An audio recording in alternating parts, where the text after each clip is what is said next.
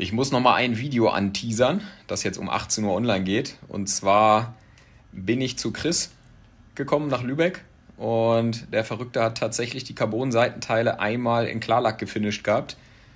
Zieht euch das Video rein. Ich war wirklich sprachlos. Es sieht wirklich unbeschreiblich aus. Bin selten sprachlos im Leben, aber das war so ein Moment, wo ich reinkam in die Lackierkabine und das sieht einfach brutal aus. An der Stelle nochmal mein vollsten Respekt und vielen Dank an Chris, der seit Monaten an dem Auto rumlackiert, an Artyom, der diese krassen Carbon-Teile einfach baut und sein Element einfach beherrscht und natürlich an Marius, der Anfang des Jahres mit mir die ganzen Vorarbeiten an der Karosse geleistet hat.